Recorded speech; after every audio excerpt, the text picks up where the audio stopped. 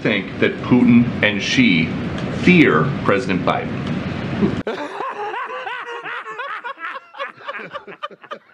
You'd have to ask them whether, whether they fear or, or they not. they? It is not about fear. It's about President Biden advancing our foreign policy goals around the world. It's about President Biden revitalizing these alliances and partnerships. It's about President Biden and what he's doing to preserve our national security interests around the world. That's what we're focused on.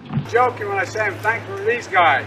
Not a joke. Fact. Not a joke. Fact. Not a joke.